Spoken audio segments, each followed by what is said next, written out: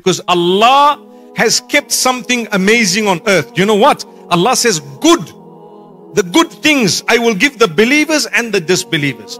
And the tests I will test the believers and the disbelievers. Not just one. I will test them all.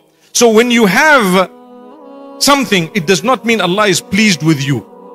And when you don't have something, it does not mean Allah is displeased with you. It could be either or. It depends on your personal condition. So let me now explain that to you because we are an ummah of victory. For us, every situation is a win. Every situation is a win. You went through a challenge, you won. If it brought you closer to Allah. That's what it is. And you have the whole world at your fingertips, you have lost if it distanced you from Allah. Some people, when they have a problem, they go away from Allah. They go to the clubs. They want to start drinking. Why? I've asked some of the guys, why do you drink? He says, to forget my problems. Oh, wow. For how many minutes, my brother?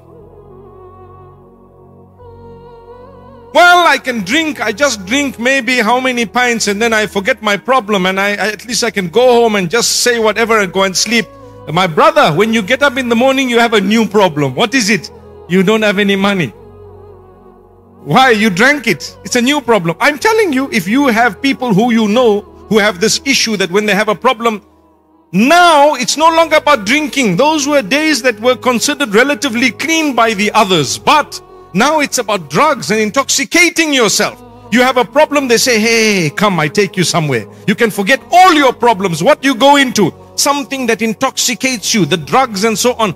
That is a bigger problem than all of the problems you actually had. We tell our children, do whatever. Don't ever you dare touch an intoxicant. That's what we say. Don't ever touch an intoxicant. You mess up your entire life. You don't know Assalamu alaikum. Islamic Motivation Deen Zone and Deen Zone Bangla is our official channel. Visit our description box and pin command to buy some Islamic products. Thank you. Assalamu alaikum. Islamic Motivation Deen Zone and Deen Zone Bangla is our official channel. Visit our description box and pin command to buy some Islamic products. Thank you. Assalamu alaikum. Islamic Motivation Deen Zone and Deen Zone Bangla is our official channel. Visit our description box and pin command to buy some Islamic products. Thank you. Assalamu alaikum. Islamic Motivation Deen Zone and Deen Zone Bangla is our official channel.